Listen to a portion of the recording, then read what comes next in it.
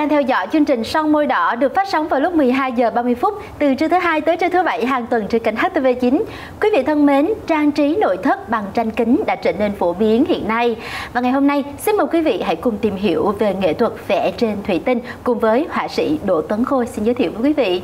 Xin chào khán giả ờ, của chương trình Son môi đỏ. Xin chào MC Thanh Huyền. Trước khi Thanh Thanh Huyền ờ, mời anh và quý vị khán giả cùng giao lưu và đặt câu hỏi thì xin mời quý vị hãy cùng đến với một số hình ảnh về nghệ thuật vẽ tranh trên thủy tinh.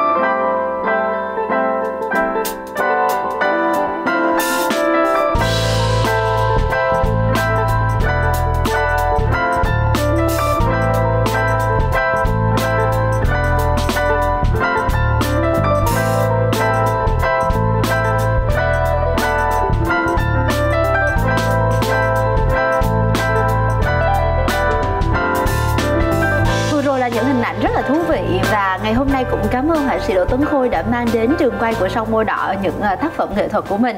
Thanh Huyền thấy là ở xung quanh đây thì có rất là nhiều những cái bức tranh, những cái sản phẩm rất là độc đáo và mới lạ. Thì đầu tiên Thanh Huyền cũng tò mò là không biết anh đã đến với nghệ thuật này như thế nào ạ? Cách đây khoảng ờ, 6-7 năm thì Khôi có tình vô tình ờ, lên mạng xem YouTube nghệ thuật kính ghép của Standing Club. Khôi cảm thấy rất là hứng, hứng thú và muốn tìm hiểu, nghiên cứu về nó và sau một khoảng thời gian khôi tìm tòi và nghiên cứu thì khôi đã tự mình pha chế ra cái màu nguyên liệu để mình vẽ trên thủy tinh luôn anh có chia sẻ là nghệ thuật uh, tranh kính uh, stand glass thì thanh huyền thường thấy là sẽ là những cái ô cửa rất là lớn những ô cửa sổ ở trong uh, các uh, công thờ. trình hồi giáo đúng ở trong rồi. các nhà thờ gọi là nghệ thuật gothic đúng không ạ đúng rồi, đúng vậy rồi. thì cái nghệ thuật đó với mỹ thuật mà anh đang theo đuổi thì có gì khác nhau ạ Um, nó khác nhau rất là nhiều tại vì cái kia là những cái công trình lớn người ta sử dụng những cái mảng kính uh, người ta ghép vào của khôi là thu hẹp lại. Cô chỉ gói gọn vào những cái bức tranh và những cái sản phẩm ờ, để mà trang trí uh, decor nhà cửa những cái sản phẩm uh, kích thước vừa phải ví dụ như đèn ngủ và những cái bức tranh vẽ những cái uh, nghệ sĩ lớn này nọ thôi. Vậy thì cái màu đó nó có gì đặc biệt hả anh? Cái màu vẽ trên thủy tinh này là một cái loại màu đó là màu meta là màu trong suốt. Thì để mà làm ra cái màu này thì còn uh, có những cái quá trình là mình phải pha của nó và mình uh, kết hợp với lại uh, chất đóng rắn và cái uh, dung môi nói chung là những nhiều nhiều cái mảng ghép lại với nhau thì nó sẽ ra một cái màu vẽ thủy tinh của mình. Dạ mất bao nhiêu lâu để anh tìm tòi và uh, mình có được những cái sản phẩm hoàn chỉnh đầu tiên ạ? Khôi nhớ thì uh, cái khoảng thời gian đó thì khôi uh, thử nghiệm cũng bị thất bại cũng khá nhiều thì uh, khoảng mất khoảng một tháng hơn á, thì màu của nó mới uh, hoàn chỉnh về và mình mới cảm nhận được cái màu của nó trên thủy tinh nó độ trong của nó anh có thể chia sẻ một chút về uh, những ờ, đơn đặt hàng đầu tiên những khách hàng đầu tiên họ biết đến mình như thế nào không ạ? Uh, những người khách hàng đầu tiên của khôi khôi nhớ là anh uh, nghệ sĩ thành lộc. Ảnh uh, có quan tâm đến sản phẩm của khôi và cái chương trình mà khôi quay cho là truyền hình khôi có mời ảnh làm khách mời. Thì uh, cũng một phần cũng nhờ anh anh Thanh Lộc uh, cũng giới thiệu đến bạn bè và mọi người cũng từ đó mọi người cũng biết đến. Thanh Huyền quan sát thì ở đây có nhiều sản phẩm khác nhau và mỗi sản phẩm dường như là lại theo một cái phong cách một cái trường phái khác nhau. Thì anh có thể chia sẻ một chút về uh, những phong cách uh, những cái cách vẽ mà mình đang theo đuổi được không ạ? Cô thích uh, những cái thể loại tranh ví dụ như vẽ tranh cái nghệ thuật này là mới nhất ở đây uh, của cô mới khám phá thì đó là tranh vẽ những cái kỹ hà uh, nghệ thuật này gọi là pop art thì uh, từ những cái đường nét kỹ hòa, hòa đó mình sẽ vẽ ra những cái khuôn mặt của những người nghệ sĩ. Những cái sản phẩm này mà khi mà đặt dưới uh, ánh sáng uh, sự giao thoa giữa ánh sáng và màu sắc nó sẽ làm cho cái sản phẩm mình trở nên rất là lung linh và huyền diệu. Em thấy là nó có cái sự tương phản rất là nhiều đối với lại những bức tranh pop art vẽ trên thủy tinh đúng không ạ? Đúng rồi. Vậy thì nó khác gì với cái sản phẩm đang để trên bàn của sông mưa đỏ hả? À, thật ra cái này thì trong quá trình cô làm thì khôi uh, tự mình design cái cái loại đèn và mình à, đi những cái họa tiết cho nó phù hợp lên à, những cái sản phẩm mà mình mong muốn. Ví dụ như cái này cô mô phỏng từ cái tranh à, nghệ thuật của Stanley Clark của nước ngoài đấy. Thì cũng là những cái đường ký hoa hà và mình à, dựng nó mình à, nghiên cứu mình phối nó cho thành một cái khuôn khổ của một cái sản phẩm. Một sản phẩm như vậy thì anh mất bao nhiêu lâu để hoàn thành hả anh? Cũng tùy à, ví dụ như một bức tranh à, lớn à, ví dụ một cái khung cửa thì mình vẽ cũng phải mất à, 3 đến 4 ngày.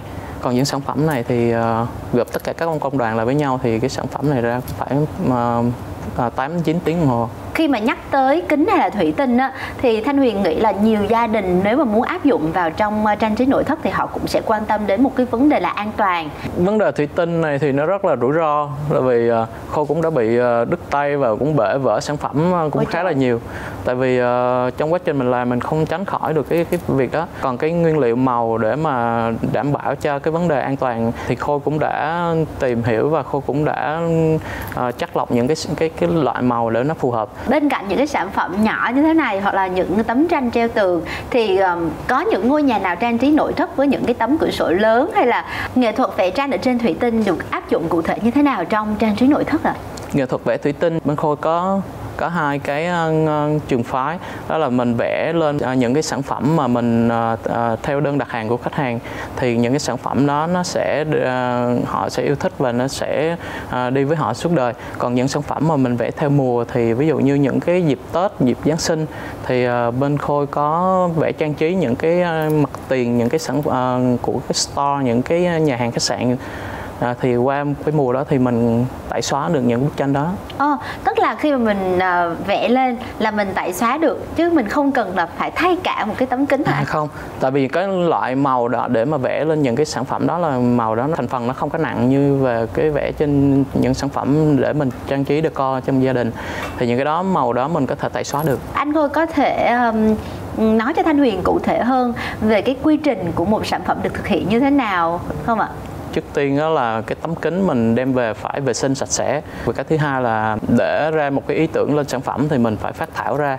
Mình phải vẽ ra những cái đường nét ở trên giấy. Dạ. và trên cái tờ giấy đó thì mình mới áp lên nó lên trên cái thủy tinh. Tại vì thủy tinh nó là trong suốt. Thì mình mình sẽ vẽ vẽ đặt cái sản sản phẩm mình vẽ mẫu mình để tấm kính lên và mình vẽ theo cái đường nét mình đã vẽ sẵn đó là cái sản phẩm thủy tinh nó nó nó, nó mặt phẳng. Còn những mà cái gồ ghề nó bo thì mình phải vẽ trực tiếp lên thủy tinh. Ra cái màu này nó vẽ, vẽ lên nó cũng khoảng uh, ờ, 5 phút là nó sẽ khô. Ở cái đường line á, là những cái đường line đen là những cái mình phát thảo. Dạ. thì khi mà màu nó khô thì mình mình đưa cái uh, nguyên liệu màu của mình vào trên cái cái cái đường line đó là mình ra cái thành phẩm. Và từ cái thành phẩm đó thì mình uh, những cái sản phẩm mà cao cấp thì mình sẽ đem những sản phẩm đó mình đi nung còn những sản phẩm mà bình thường thì mình sẽ để đó cho nó khô và để dưới lò vi, vi sóng là nó tự nó nó ổn định à. Nếu mà mình đem đi nung thì cái màu nó còn được đẹp như lúc đầu không anh? Đi nung thì cái màu nó sẽ bị xỉn lại khoảng 10 đến 15 phần trăm thì nó sẽ màu nó sẽ không được uh, tươi hơn thôi.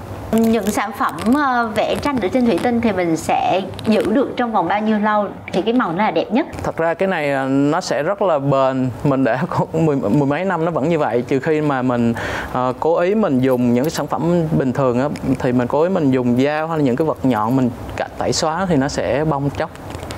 Còn nếu mà mình để như vậy thì để rất là lâu rất là cảm ơn họa sĩ Đỗ Tấn Khôn ngày hôm nay đã đến trò chuyện với Thanh Thanh Huyền và quý vị khán giả của Sông Môi Đỏ về niềm đam mê của anh và sự sáng tạo của anh. Nãy giờ thì Thanh Huyền rất là thích nhiều cái bức tranh ở đây, đặc biệt là bức tranh vẽ ờ, uh, chàng ca sĩ Justin Bieber. Tức là nãy Thanh Huyền tới đây thì Thanh Huyền ờ, nhìn một phát là Thanh Huyền biết ngay à đây là Justin Bieber, tức là cảm thấy là họa sĩ Đỗ Tấn Khôi vẽ rất là có hồn và có thần thái ở trong đó. Thanh Huyền uh, cảm ơn họa sĩ rất là nhiều và chúc cho họa sĩ sẽ có thêm thật là nhiều những tác phẩm tuyệt vời hơn nữa. Cảm ơn Thanh Huyền. Quý vị khán giả thân mến, nghệ thuật vẽ tranh trên thủy tinh cũng đã kết thúc chương trình ngày hôm nay. Xin cảm ơn quý vị đã theo dõi chương trình và Thanh Thanh Huyền được hẹn gặp lại vào lúc 12 giờ 30 phút từ trưa thứ hai tới trưa thứ bảy hàng tuần trên kênh HTV9. Xin chào tạm biệt và hẹn gặp lại quý vị.